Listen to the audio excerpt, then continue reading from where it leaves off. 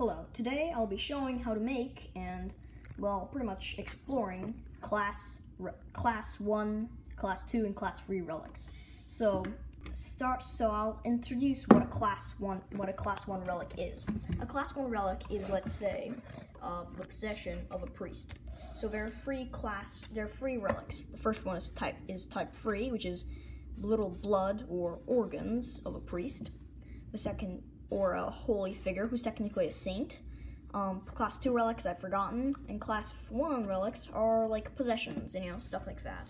These I kind of try to stay away from because they're creepy. These I don't know about, and these are kind of the safest things you can experiment with since, well, you're not having pope blood, so you don't want to commit a popicide or anything like that. Yeah, unless you're some kind of psycho. So anyways, so here's my class 1 relic. So this is a, a, this inside here is a possession of a priest. This is a toothpick that was owned by a priest. So he was giving a sermon on, uh, you know, how how we humans are like toothpicks and Christ is like a nail. If we stand by Christ, we're literally unbreakable.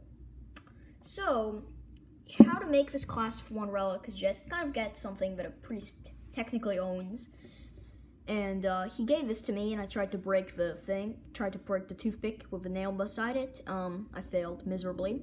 But anyway, so I decided to keep the toothpick since he since he didn't seem to want to, since he didn't want it back. So he kind of gave it to everybody as a little reminder.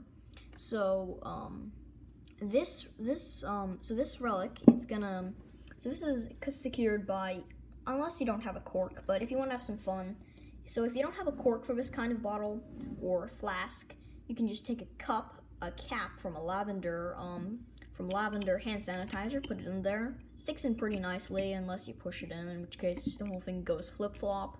But it, if you just kind of let it loosely hang there, you're good.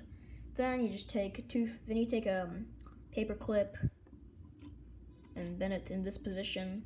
Sits pretty nicely on there. And finally, just uh, take a little Lego piece, and that's it. So anyways, um, yeah, anyways, I'm just gonna put a little watermark so that nobody steals this video, and, um, yeah, see ya. Also, with this one, I just wanted a bust of Lenin. My mom went to Russia, so I decided, hell, why not? So anyways, alright, so see ya.